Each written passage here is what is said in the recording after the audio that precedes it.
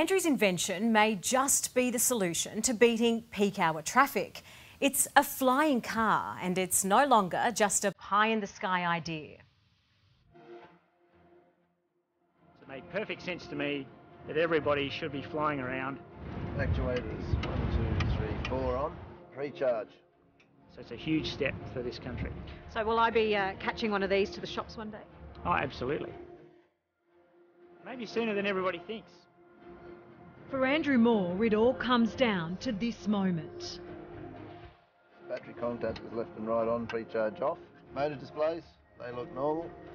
Ground idle. Yep, ready for ground idle. Five years in the making. Motor 7, motor 8.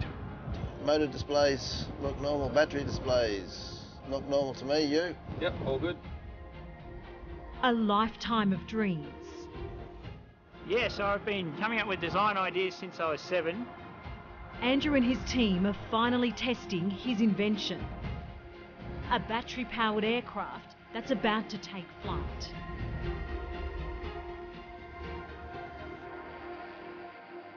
It's an electric vertical takeoff and landing aircraft, and that means it takes off and lands like a helicopter, but flies fast and efficient, efficiently like a plane. What's your vision in an urban area? I'd say within the decade, you'll be able to go from somewhere not too far from your home to the rooftop car park on your nearest shopping centre. You could have a landing site which is over a, an intersection not far from your home.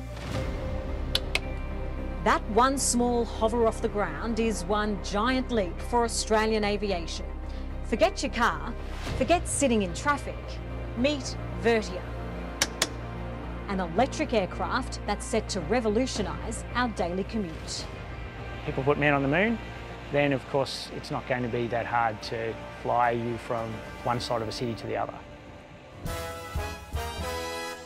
Like the Jetsons, they're a futuristic family.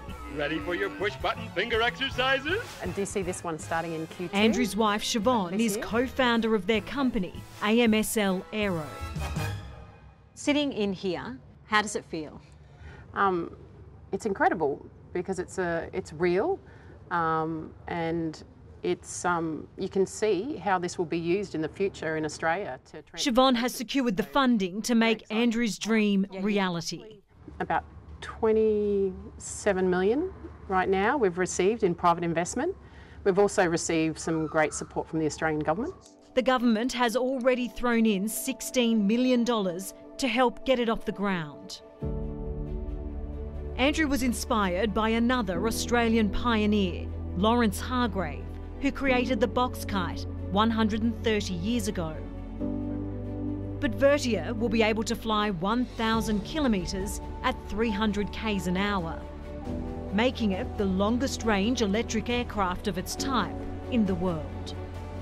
An emissions free form of transport that's far faster and safer than what you have today. And as you can see, this is the aeromatic, aeromedical cabin fit out um, for the aircraft. It's new technology CareFlight can't resist. The whole purpose of having these large doors is to allow ease of access of um, loading and unloading the patients.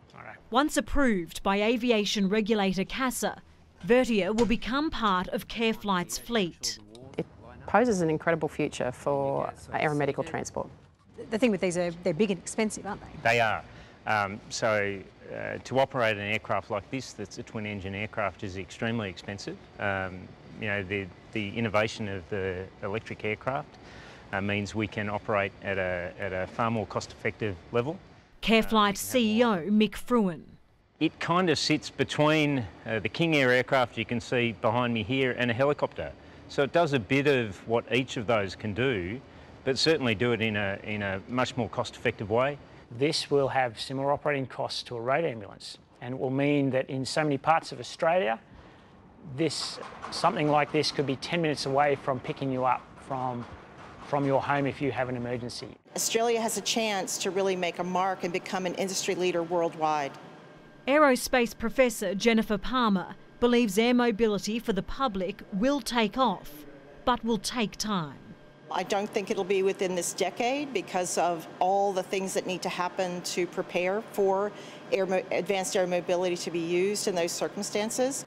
Professor Palmer says getting a new invention, especially an electric aircraft approved, won't be easy. It will be stringent, and that's necessary because we're talking about the safety of the public and the safety of people operating or travelling in these vehicles. Who will be able to fly these? These will initially be flown by pilots with a, a special licence. Eventually, they'll even be remote controlled. That opens up a wide range of, of other applications and opportunities like fighting fires. With the maiden flight a success, work on a second prototype has begun. So what's the next stage of development when it comes to powering this, this up? Yeah, so the, the, the first one you saw used battery only, but the next one we're developing will use hydrogen and it will have hydrogen fuel tanks, which will be in the wingtips of the, the aircraft. Even if you think it's too good to be true, for Andrew and Siobhan, the only way is up. I always say there's a million ways why something won't happen, and there's a few ways it will. It's hard to fathom, isn't it? The goal is for Vertiia to be used for aeromedical transport by 2026.